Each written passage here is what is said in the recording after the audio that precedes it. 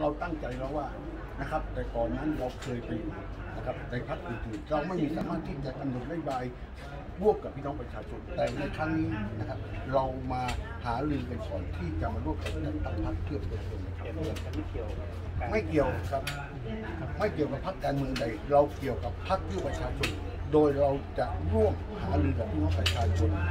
ทั่วทั้งประเทศในการกำหนดนโยบายเป็นพรรคของประชาชนโดยแท้จริงแต่ทั้งที่ท็อปยังมีข้อสังเกตว่าเป็นยังมีคำว่าเพื่อเป็นพรรคตระกูลเพื่ออยู่ไม่ฮะคือเราเป็นพรรคของประชาชนเราก็เพื่อประชาชน เราจะให้ประชาชนมีส่วนมาร่วมในการที่จะนำนโยบายไปสู่พี่น้องประชาชนทั้งเป้ากี่เก้าอี้ครับ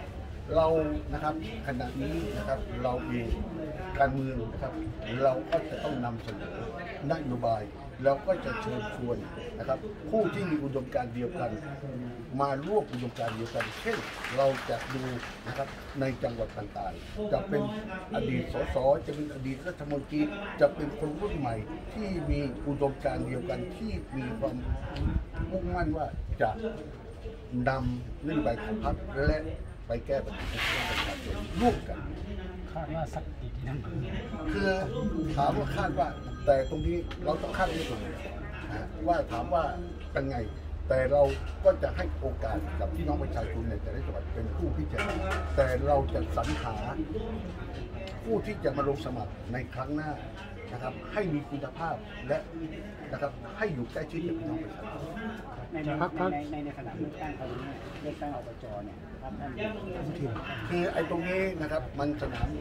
ท้องถิ่นยังไม่ได้เกี่ยวข้อง เราเองจะมองว่าระยะเวลาหรืออีกสองปีครึ่ง